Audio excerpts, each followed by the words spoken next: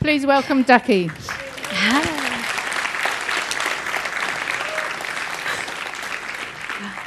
Hello, everyone. I'm Ducky, for those that I haven't met yet, and for those that are as terrible at names as I am.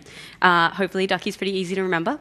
So, today, uh, sorry for the technical delays, but today I'm going to talk to you about augmented reality uh, in the browser, and I guess more specifically about JavaScript libraries that will help you do this, because we're all here at a JavaScript conference, and I figure you're probably interested in that. Um, hopefully, this doesn't come as a shock for you. Uh, if this is not the topic you're here to see, there is another room. It's also an excellent room, and we can still be friends even if you leave, don't worry. Uh, that applies for if you want to leave halfway through, don't worry. I'll, I'll, talk to you later. We'll hang out. Um, so, a bit about me, because we're friends now. Uh, I'm from the Western Island of New Zealand. Um, I work for a little web agency called Take Flight. Um, they're pretty cool. And I do that while I finish my degree. And I'm really, really interested in games, uh, tabletop games, video games, physical games. I, I really love games. Uh, I was actually at the Game Developer Conference in San Francisco last week. That's how much I love games. Um, and that's kind of how I got into augmented reality because games in augmented reality just sounds really fun. Like everyone's really crazy about VR right now, virtual reality. Um, I'm also crazy about virtual reality, but I also really love AR. So for those in the room that don't know, and that's, or maybe you're not clear on it, what is augmented reality? Well, uh, right here I have a super great dystopian example of AR, if I can get it to play. Um, so this isn't any actual like real uh, technology. This is just a, an art project by an artist called Keiichi Matsuda. Um, so it's it's a little like if AR and GeoCities met, and it's just a little crazy. Um, and if you could hear the like audio, which we won't do because that would just be complicated right now, um, it would be like telling this person what to do. So it's kind of an overlay on the real world, and it's a bit intense. And I hope AR doesn't quite take over our lives as much as this has. Uh, so we'll we'll quickly move on if we can.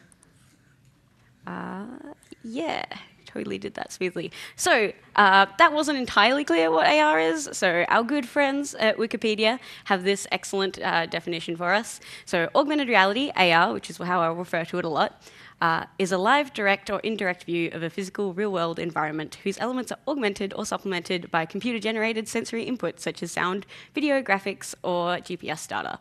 Simple, right? Easy. Cool. We all know what AR is. Brilliant. Uh, so there are actually some examples of AR currently in use, like in tech. Um, this is a great one. This is an application called Snapchat. Uh, I totally use it. It's it's good fun. Um, Facebook are trying to do similar things um, as well, and basically it uses face tracking to put over these adorable and hilarious filters, and then you can take videos or pictures and send it to your friends. Uh, so it's not a super useful thing, uh, but it's really fun. Uh, and if you want to try it out later, I, I totally have my phone, and we can we can take some selfies together. It would be great. Um, uh, another big uh, kind of augmented reality thing, or thing that was sold as augmented reality, was a game that came out last year and like swept a lot of the population uh, called Pokemon Go. So, as you might be able to infer from the title, it's from the kind of the Pokemon franchise, and it basically lets you catch Pokemon in the real world. So you would walk around with your mobile phone uh, looking for the little creatures. They're adorable. That one's pretty cute. Um, and you could actually see them like overlaid onto like a park bench and things like that. Um, as you might be able to tell on that screen there, that's not AR. So it had a little mode thing and you could turn AR off and on, and I have to say, most people turned it off. So unfortunately, it was a bit gimmicky, but the game was really popular and people really liked playing it. Uh, hopefully, some people still do. Maybe we can go for a walk later. um, so that is one big problem with AR. It has been used as a gimmick a lot, so it's used in advertising. This is from 2008. It's a mini kind of commercial. Basically, you had a piece of paper, held it up to your webcam, you could see a Mini. Woo! Really exciting. Um, I guess if you're interested in buying a car, maybe that model is helpful. I'm not sure. I've never really bought a Mini before. Um, IKEA in 2013 wanted to help their users figure out how much furniture to replace, like to cover up dead bodies in their living room. So as you can see, this couch is not big enough, uh, so they might want to try out a bigger couch. Um, so I'm sure that was really helpful for consumers. Um, in 2014, Vienna wanted to test its citizens uh, and make sure that they were prepared for zombie outbreak. Um, the people in this were not prepared. They were just like, whoa. Um, it might have also been like a promotion for a TV show called The Walking Dead, but you know, it worked pretty well as a zombie outbreak crisis. Um, so those are really exciting things happening in AR right now. Uh, and there's more exciting things. So there's lots of hardware. Lots of big companies are like making more and more hardware so we can do AR better and better. So this is the HoloLens from Microsoft. I've tried it out. It's pretty cool. Lots of people complain it doesn't have the full 180 degrees of view. Uh, that's, that's a problem with AR, unfortunately. Uh, but hopefully we'll get there one day. Um, so yeah, this does VR as well as AR. And at the moment, it's actually trending for kind of enterprise spaces. So basically, you'd wear this in your office and you could just chuck your desktop up on that wall over there and be like, cool, that's my computer now.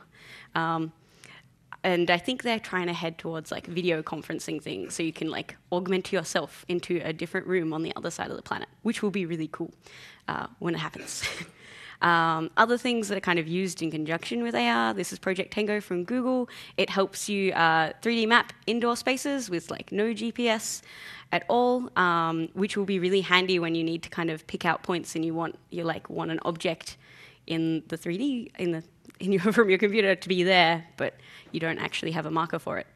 Um, also, Leap Motion is really cool for gestures and like interacting with objects in AR. The HoloLens uses gestures, kind of like the Kinect. It's, pretty much the same technology, same company. Um, so that's pretty cool. And this is like my favorite because I'm a poor student and I can afford this. It's a cardboard, basically. I already have a smartphone and I can just chuck it into this cardboard thing. It also has some lenses and I can use camera feed to like look out into the real world and like see that on my display.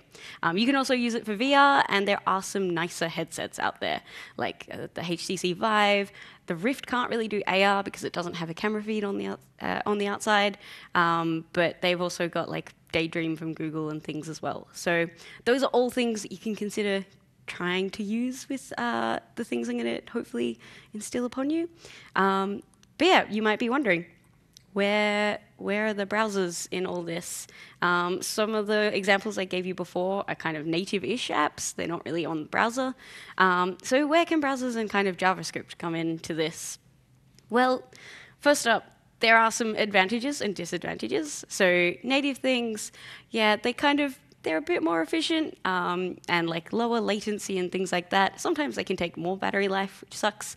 Um, but you also have more control over the permissions and things that you get from your users.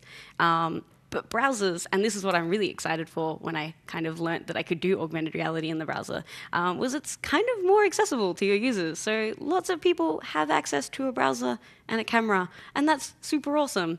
I, I hate downloading apps. I, it annoys me that I have to go to a store and download the app and it takes time and then I use it. I love being able to already have a browser, just go into it and go to somewhere. So that's really handy. Uh, it's really great if you want to just prototype something as well and you don't want to spend all the effort into making a native app. Um, so it's kind of less code and possibly easier to learn and there's more standards and things that you can leverage for a wider user base. Um, there are a lot of JavaScript libraries out there. I'm not sure if you've noticed, but there's just like a bunch, and a lot of them do similar or the same things, uh, which is really cool. Like lots of options to choose from. I'm sure some do things, some things better than others, um, but oh man, there are so many. Um, so I've kind of tried to narrow it down a bit from this talk for this talk, uh, and that's kind of because I have some opinions about how I like my AR and how I think like AR can do be things better for people. I don't actually really like seeing like augmented reality for things that you don't need augmented reality for. Like you could augment a chess game if you wanted. Um, I'm sure it would be cool. Maybe if you're like on different sides of the planet, it would be cooler. But like if I'm having a, a, great augmented reality chess game with like some people in the front row, we could probably just have like a chess set right here. It would be just as easy, if not easier. Um, so some of the things I look for when I'm kind of trying to choose which libraries I want to use. Uh, Well, first, I kind of really like it on mobile because I think that's just way more accessible to users. Uh, augmented reality in a browser on a desktop, like sure we all have webcams kind of built in or we have like an extra webcam, but then it kind of limits what your users can do with it. Cause like I, I have a webcam on the front of this and I can kind of like pick it up and move it. And like this is probably not a great example because this computer can be picked up and moved. But like if I'm at a desktop, it's it's got a very limited kind of range of what I can do in that space. I kind of like getting up and moving around a bit, and I think AR is really useful for that.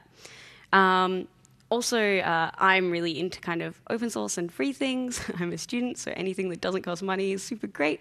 Uh, and also, I just really uh, like the kind of open source ethos, and I really love sharing that and being able to see um, the code and see where it can be improved and contribute to that. Um, that's just something I'm really into. You might not be into it. Ho hopefully, you are.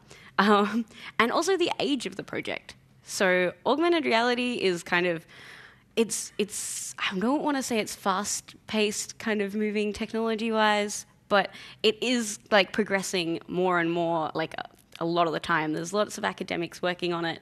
Um, lots of big companies are now working on it. Um, so looking at the age of a project that you're going to use is probably a good indication as to whether it's going to be useful in the future and kind of make sure that uh, it's relevant now because there's plenty of things from like even just a few years ago that are quite outdated now. I'm, I'm sure some of you have experienced that in lots of other areas as well. Um, so yeah, that's particularly important with augmented reality though. Um, also, licenses for project. Because I care about open source and because I care about what my project can do and how I can distribute it, uh, licenses for whatever you're going to use are really important too. But I'm sure there are lots of talks about that, so I won't bore you. Um, so, what JavaScript libraries do I want to talk about? Well, these are a few of them. Uh, I've kind of put in a few extra ones as well. As I said, it is changing and moving a lot. I'm pretty sure there was something released like two weeks ago that I've tried to try and include in this talk because it was really, really cool. Um, so it might not have made it to this slide. Um, so there's tracking.js, which actually uh, doesn't help with all of the augmented reality, but it's the most important part, the tracking. Um, and then you can use it in conjunction with things like Three.js, uh, which is not just kind of for models, but there's a whole game extension. There's 3x.webAR, um, which is an extension of Three.js for augmented reality. Uh, unfortunately, I don't think that has iOS support at the moment. Um, there's JS R Toolkit, which is awesome because it's a port of uh, a Flash AR toolkit, which is a port of Nya toolkit, which is Java, which is a port of AR toolkit. Yay, lots of ports. Um, they all made a lot of sense as to why they were ports, but it's just fun to say a port of a port of a port. Um, so AR toolkit I actually really like as well. It's what I use for like apps when I'm doing native things. Um, and then there's also some other things like NyARToolkit you can kind of use with something else to make it more JavaScripty as well. Um, there's also awe.js, uh, which is just a really nice API for doing augmented reality stuff as well. Um, there's also a bunch of other technologies that we have to use alongside these things. HTML5 is super great. Uh, OpenCV and Python you can use uh, along with Three.js to like get 3D objects into things. Uh, WebGL and WebRTC. Um, there's also some like browser, so augmented reality browsers. So it's like a browser you have to download, but then people can make stuff for it.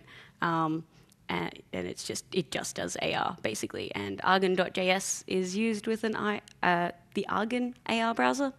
Um, there's also lots of really important things in AR called uh, marker libraries. So if you're doing any marker tracking, those are really important. And there's JSAR UCO or JSR RUCO. It's a problem with the internet. You're never quite sure how things are meant to be said.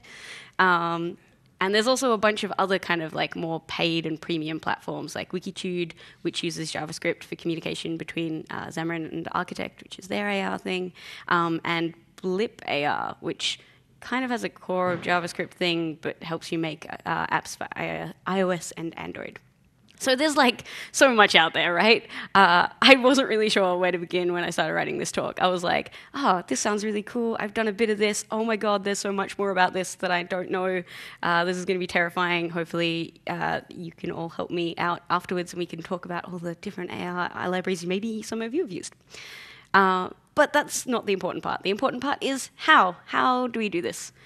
How do we actually get like a thing, look at a thing, and see a different thing on the screen? Um, it's an age-old question, I'm sure, for all of us. Uh, well, we can go back to this definition, and we can kind of deduce. So you need a live or indirect feed. So kind of need a camera.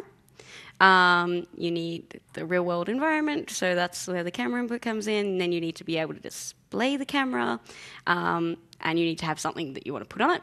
Uh, you need tracking to find out where you want to put that object on that feed, and you need a view that ties all of this together. Uh, so those are kind of like the four things that you need, broken down very simply, because there's, there's a bunch of stuff under each of them. Uh, but let's get started. Uh, so, camera. Yay! So there's this really handy thing that lots of people might already know about, and hopefully this is I think this might be the deprecated version. I think there's another version. Uh, as we all know, things get deprecated all the time. Um, so yeah, you can just get your user's media. It's excellent. You kind of go and ask your user if you can use their camera. Hopefully they say yes, otherwise nothing's going to work. Um, and then you have their camera. Woo, you can see things. Um, this is just one way to do it. There's some other ways you can do it. So I think you can do it with OpenCV where it can read webcam streams.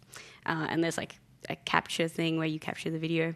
Uh, but yeah, this is so far the way that pretty much all the libraries I've looked at recommend doing it, um, with like some slight adjustments to like where you're getting it. Um, so yeah, you can also capture sound so you just go audio equals true, uh, audio true. Um, yeah, that's that's pretty much it for the camera. That's the simple bit. That's the bit I love the most because it just gets done really easy. Uh, then you probably need a view, so you need to display what your camera is seeing. Um, this is uh, one way of doing it. So you can be like, yay, the user said I could use their camera. I can show off the camera. Excellent. Um, and you can use like HTML video tags or Canvas um, or OpenCV does some other stuff where you can show it, uh, but we're not going to go into that too much. So those are the two kind of easy bits. The next bits get slightly more complicated. Well, 3D objects, not too much. So these are the things you actually want to show in the reality that you're giving people. This is the augmented part. Um, and it doesn't have to actually just be 3D objects. I wrote this slide and then forgot to change it later. Um, so you can actually have sounds. So you could have like an augmented reality, which is kind of like a soundscape to reality, which I think is really cool because 3D objects are really fun when you can see them, but otherwise maybe not so much. Um, you can also have animations on the 3D objects and lots of things. And honestly, pretty much every library and tutorial I've ever gone through is always like, hey, have you checked out Three.js? So uh, go check out Three.js. It's pretty useful for this. Uh, I'm not actually a 3D modeler. Uh, I'm trying to get better at that. So I recommend going to Three.js and their examples. They're really amazing and they're so helpful for like doing anything. Um, there's also WebGL and you can do fancy stuff with that. But hopefully you didn't come to this talk to learn 3D modeling because I'm really sad to disappoint you. so this is where all of the magic happens. Tracking. Wow, it's a great word that encompasses so many different things. So there's lots of things you can track. So if I want to put an object into space, where do I want to put it? Is basically uh, what tracking is saying. So there's augmented reality markers, uh, there's geo-tracking, so you can have coordinates and you can like pin the thing to like those coordinates and be like, hey, this spot is where JSConf is. You should totally go there. Um, there's face tracking and color tracking. They're both kind of under the whole heading of object tracking. Uh, important to note, face tracking is not the same as facial recognition. You can go up to an AR thing. It's not going to know that it's you every time you go up. It just knows that you have a face, um, which is great. Hopefully, most of us have faces at the moment. Um, and yeah, they all use incredibly awesome algorithms. Some of them are really complicated. Um, some of them are like canny edge detectors uh, and like that help detect lots of different edges in the picture, which is really useful if you want to detect anything that's not like just a simple pattern AR marker, because you can detect circles and things, which is really exciting. Um, and there's there's just like a bunch of algorithms. If you're really into algorithms, I really recommend looking into these because they're really fun and uh, cool to look at. And you can try and make your own, which is really exciting.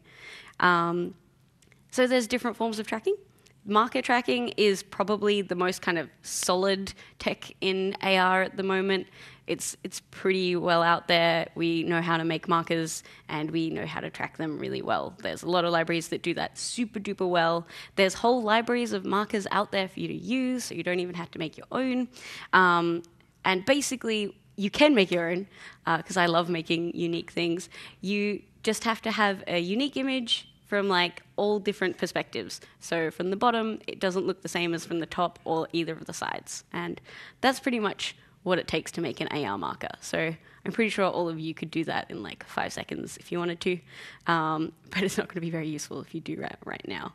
Um, so there's several libraries out there. So AR Toolkit has libraries of markers. Um, JS uh, also has libraries of markers, and you can use them with any of your projects. Um, this basically just uses pattern matching algorithms, and yeah, they're they're pretty solidly done at the moment. So that like if you really want a good applica- AR application that's going to definitely work and it's not going to be like things flitting everywhere, uh, markers are the way to go. They might not be as super cool as like having nothing, but they definitely work. Um, some other tracking stuff. Well, uh, this is uh, that 3x.ar thing I was kind of talking about earlier. Um, you, this is how you like kind of use it basically.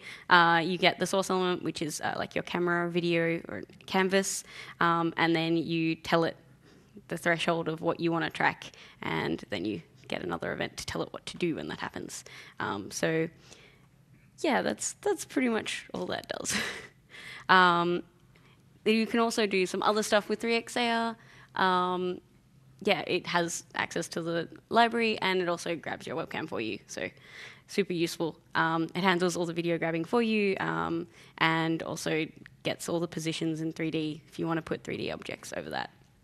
Uh, my favorite tracking library at the moment is actually tracking.js, specifically designed to do tracking. Wow, they named it really well. I'm super glad. Um, so you may have gathered already, but, or not, but all this tracking kind of comes down to computer vision and what your computer can see. Um, and there are so many things that your computer can see if you can tell it what to see. So tracking.js handles a lot of that for you. They've they've worked really hard on it, and it's it's got a really nice simple API, so you don't have to worry about all of the like complicated algorithms they're using um, to do color tracking, object tracking, and they even have like a really nice thing to help you do custom tracking. Um, they have some really cool demos and like people have made things, and I actually really wanted to show you one, so I'm gonna see if I can do that. If it works, it wasn't working last night, but it worked this morning. No, go back. Okay. So, yes, this thing. Um, I don't know if it's working because I can't see. Can I see? So if I have my face facing this, do I have fire on my head? No? Yes? Excellent. So you can actually like make gifs of yourself with fire on your head. It's super great. Um, and you can do stupid things like this. And then hopefully you've, you've got a gif of you with fire on your head. So, huh, super great um, thing you can do with AR today, right now. Um, woo! so you can have fire. um, I didn't actually make this, but it is an open source project, and you can go have a look at like all the back end of it, um, and it's pretty much all JavaScript as well, which you might find interesting. Um, yeah, so that's that's super cute um, yeah, if you want to do that right now in the, in the audience, uh, send pictures, people with fire on your head, that's the um, link for that. Take a picture if you want to do it later. Um, or just come find me and I'm happy to share that out with you. Um, so yeah, that's that's one of the uses uh, people have found for tracking.js. I assure you, there are like way more uses. They've actually got this really cute draw something, uh, which is it was kind of like a game that you played with your friends and you drew stuff. But this is just like a feed of whatever you want. And you can pick up objects and it has object tracking. So if I picked up this pen and told the API to like track this color blue, I could then use this to draw. So if I just wave it in the air in front of the webcam, it would then track that and draw, draw something. Woo. Um, so that's something really cool you can do with AR that isn't just projecting something onto it. Um, you can actually interact with it, uh, which is what I'm all about, interacting. Um, and yeah, you can do face tracking as we just saw. Um, color tracking, you can do even more on like any kind of um, video. So it doesn't just have to be your webcam. You could just give it a video and be like, track all these different colors. Um, and you can also do that whole, hey, tagging people with faces. But you'll also need facial rec recognition to tag people properly. Um, so yeah, that's, that's one uh, library for tracking that I super recommend. Um, and its API is so simple that I haven't actually given you any code because code on slides is kind of annoying sometimes. And you can just go to the tracking.js website and they'll have tons for you there.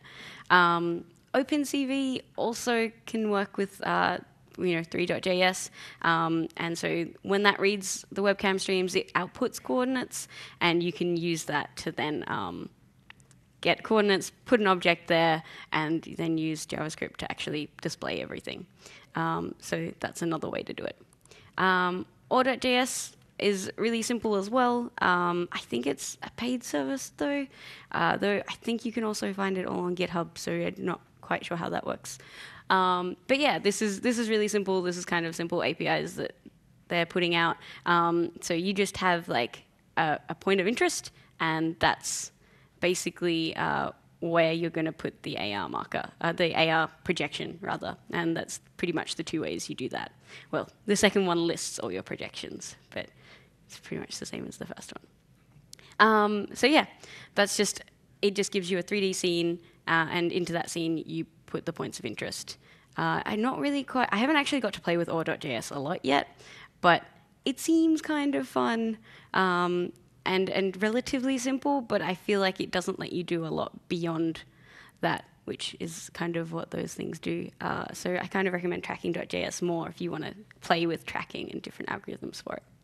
Um, I actually want to do a quick example of marker um, AR. So if any of you have smartphones, hand up if you have a smartphone.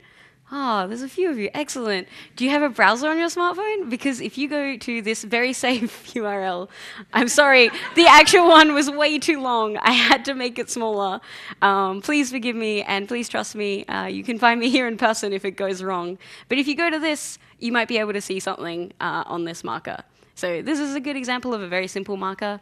Um, you can do more with markers, so you can have like uh, very complex paintings. So Picasso's paintings, super great as markers, because they're not the same from like any direction. And you can do that with anything. So you can make a drawing, and as long as it's not the same from any direction, um, it can be a marker. So is, is it working for anyone? Yeah. So that's all on GitHub, on some really awesome AR people's GitHub. And you can see more examples of way cooler things. Um, so yeah, hopefully that gives you a, like a little bit of insight into what you can do with AR. Wouldn't it have been cool if this entire presentation had been AR based? You would have had to constantly be on your phone and not feel guilty for it. Um, so yeah, that's that's what you could do. Wouldn't that be great? I am really excited to see if you do that. Um, so those are all kind of individual components of, of using different JS libraries for the things. But what if you want to do it all in JS? Um, well, that's that's really hard. You can just kind of there's there's a few things that say they can do that, um, and they they just basically get all the other libraries for you and do that, um, and that's that's great. Um, so there's not really one library that will do it. Um, there is something called GWT that isn't strictly JavaScript, but apparently it, I haven't got to play with it yet, but apparently it transpiles your Java code into JavaScript. So it helps you use Java libraries and JavaScript libraries. Um, as far as I know, their augmented reality examples are a bit old though, but this is basically what they're doing that uh, hopefully we'll be able to understand now if we've learnt stuff. So you've got the webcam, use WebRTC and like JavaScript things, yay. Uh, and then use NyARToolkit, which is actually a Java library for AR Toolkit. Um, but then you get to put that into WebGL, uh, which is JavaScript, and then it's in the browser. Yay! Super simple. See, you could. I'm expecting to see amazing augmented applications from all of you by the end of today. It'll be great. but hopefully that's given you like a bit of a taster of some of the augmented reality libraries out there. There are literally so many more. Um, some of them are older than others, and there might be new ones coming out any day now. Like I literally just woke up on Twitter like two weeks ago and was like, oh, another library, excellent. Um, so that was the 3x.ar one, except they've got like a new one. Um, so yeah, what about the future? What what other cool things uh, can we do with AR? Like, what are you going to do with AR now that you know that you can do it? Um, well, unfortunately, AR is a little bit in um, the trough of disillusionment uh, on the hype graph, uh, but that's okay because people like me are really excited about it, and hopefully, I'm helping make people like you excited about it, and that's really great because you're all people who can do something about it. Yay! Uh, and hopefully, we'll we'll go up a bit. Um, VR is actually a little further up the slope of enlightenment. I really love these names. Um, but it's it's plateauing out and like having an actual defined thing. We'll see how long that lasts. Maybe maybe we could overtake VR. That would be super cool. Um, and some other things. Ooh. So this is actually a sand pit. Oh, I'm really bad at moving my mouse. So this is a sand pit um, when it gets to it. Um, and it's actually just got a projection over the top and it's using um, depth sensors to, so that you can go in and move the sand around and it changes the projection based on that. Um, and it's being used uh, in, it's, it's not being used for anything very useful right now. Well, it is. It's inspiring primary schoolers to study geography, which is pretty cool. Uh, I'm not finding anything. There go to this thing. It's it's really fun, and you can actually set them up yourselves like really easily. You can just like attach if if you have money, you can set it up very easily. So you can attach like some Kinects because they've got great depth sensors and like a projector, and that's that's literally the entire thing. Um, so that's really cool, and hopefully you saw some of that. I should probably oh no, come back. Yes.